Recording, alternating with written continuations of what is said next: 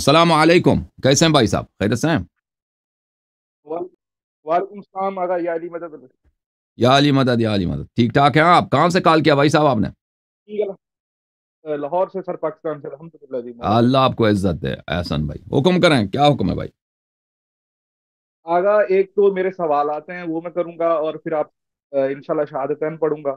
میں سن جی۔ تھا پھر میں حدیث مکتب میں کیا اب انشاءاللہ میں مذہب حقہ میں آ گیا ہوں۔ ماشاء اللہ الحمدللہ ماشاء اللہ ہے آپ کی وجہ سے۔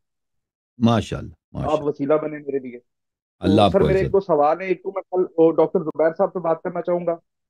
سر میں نے ان کی کافی ویڈیو سنی ہیں۔ ان کے تو عقائد ہی درست نہیں ہے یہ مروان کو بھی جنت کا ٹکٹ دیتے ہیں معاویہ کو بھی جنت کا ٹکٹ دیتے ہیں۔ اور یہ بحث میں آ گئے کل امامت۔ ہے؟ اور سر انہوں نے سٹارٹنگ تو ایسی کی ہے کوئی بھی جانتے بوجھتے ہوئے جہنم میں جانا چاہتا لیکن کچھ ایسی عقلیں ہیں ہمارے موجود ہیں معاشرے میں وہ حق کو پہچان کر تسلیم نہیں کر رہی۔ ماشاء اللہ ٹھیک ہے۔ اگر دکھ ہوتا ہے اگر ہم اہل سنت میں رہے ہیں جو آپ نے حدیث بیان کی اس دن بھئی جو امامت کے بغیر اس دنیا سے چلا گیا وہ اس نے اپنی زندگی ضائع کر دی۔ میں اہل سنت سنت میں تھا صوفیزم میں تھا خاندان ہمارا وہ صوفیہ کو مانتا تھا۔ یہ حدیث حدیث تو نہیں مجھے پتا تھا یہ حدیث ہے آپ کے مجھے پتا چلا۔ تو میں ساری زندگی بچپن میں سنتا ہوا کہ یہ پیر کی بیعت کرنی ہے کیونکہ جو بیعت کے بغیر چلا گیا وہ اب سمجھ آئی وہ بیعت تو امام زمانہ کی بیعت ہے۔ ماشاء اللہ ماشاء ارے اتنے اتنے اتنے خناس ہمارے دماغوں میں بھرے گئے ہیں نا۔ تو اللہ کا شکر ادا کرنا چاہیے ہمیں تو بس ہم بس راہ حقہ پہ آئے ہیں۔ ماشاء اب میں سوالات جی سر سر آپ نے بیان کیا تھا شیعہ نور سے بنے ہیں۔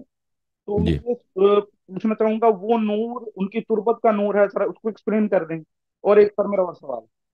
جی دیکھیں یہ بہت سارے روایات میں کہ اللہ تعالیٰ نے شیعوں کو اہل بیت علیہ السلام کے نور سے خلق کیا ہے۔ وہ چاہے کسی بھی ماں باپ سے ہوں ناصبی باپ سے بھی ہو تو اس کی باپ کی نجاست اس کو نہیں لگتا شیعہ کو نہیں لگتا۔ اللہ تعالیٰ نے شیعہ کو آ, میں ایک منٹ آپ کو وہ حدیث میں دکھا دوں کہ مومن کو اللہ تعالیٰ نے اہل بیت علیہ السلام کے نور سے خلق کیا ہے۔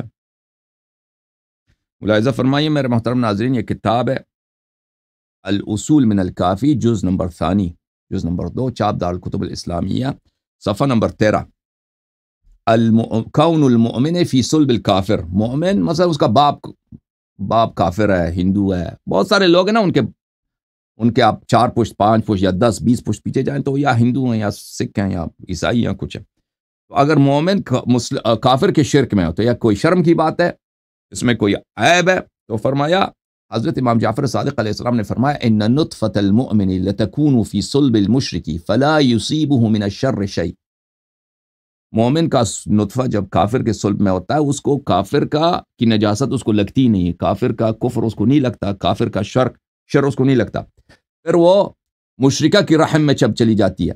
لم يصبها من الشر شيء اور اس کو بھی اس کو شر نہیں لگتی۔ وہ جب اپنی ماں کے رحم میں ہوتا ہے یا اپنی دادی، اس پردادی کے رحم میں ہوتا ہے اس کا نطفہ، اس کے باپ، اپنے باپ کے سلب میں پردادی کے رحم میں ہوتی ہے۔ اس کو اس کا شر نہیں لگتا۔ اچھا اس کے روایت بھی بہت زیادہ۔ ہے میں آپ کی خدمت میں عرض کروں کہ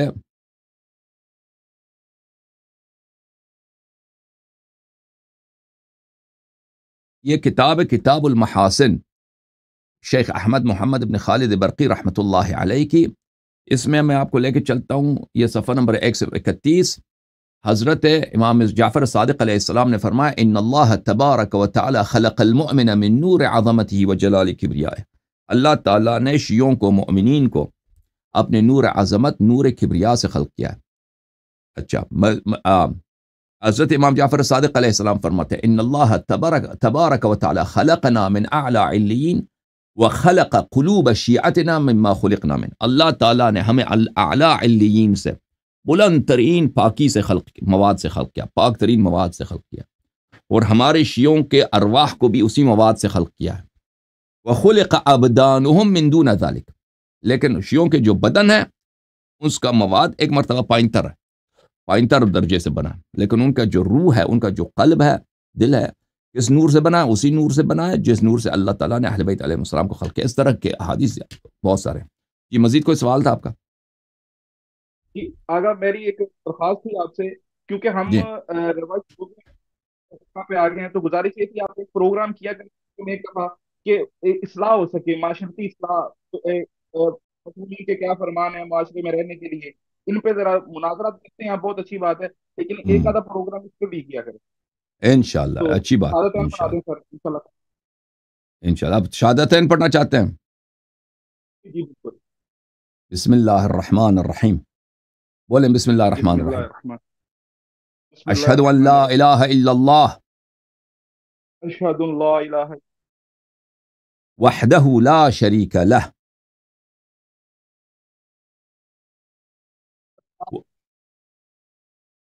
جی سمجھ نہیں ائی مجھے وحده لا شريك له.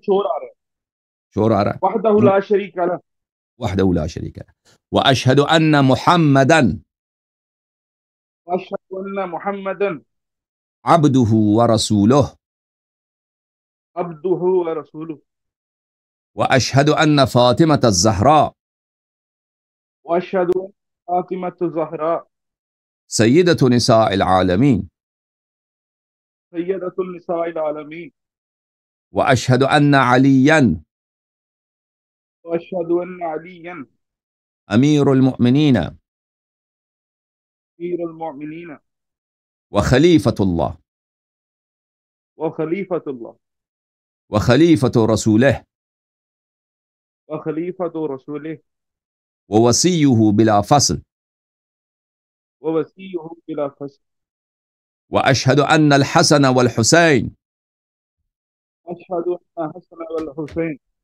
وعلي بن الحسين. وعلي بن الحسين. ومحمد بن علي. ومحمد بن علي. وجعفر بن محمد. جعفر بن محمد. وموسى بن جعفر. وموسى بن جعفر. وعلي بن موسى. وعلي بن موسى. ومحمد بن علي ومحمد بن علي. وعلي بن محمد وعلي بن محمد. والحسن بن علي وحسن بن علي. والإمام المهدي والإمام المهدي ابن الحسن. الحسن خلفاء الله. خلفاء الله. وحجج الله. وحجج الله. وأئمة الهدى. وأئمة الهدى. وأوصياء رسول الله. أوصياء رسول الله. آج سے میں چودہ معصومین علیہم السلام کا بارہ ائمہ علیہم السلام کا. آج سے میں چودہ معصومین علیہ السلام کا بارہ معصومین علیہ السلام کا۔ غلام ابن غلام ابن غلام۔ غلام ابن غلام۔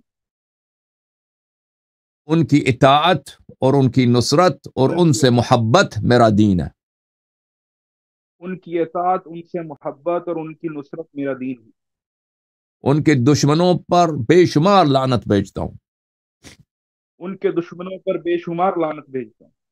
اور ان کے دوستوں سے محبت کرتا ہوں۔ اور ان کے دوستوں سے محبت کرتا ہوں۔ اللہ آپ کو عزت دے۔ اللہ آپ کو انشاءاللہ نمونہ بنائے دوسرے بھائیوں کے لیے کہ انشاءاللہ وہ آپ کے نقش قدم پر آپ سے سیکھ لیں اور اس راستے میں انشاءاللہ۔ مزید لوگ آ جائیں۔ بہت مہربانی۔ اللہ آپ کو جزائے خیر دے۔ اللہ آپ کو عزت دے۔ اللہ آپ کو طول عمر دے۔ اللہ آپ کو حسن عاقبت عطا فرمائے۔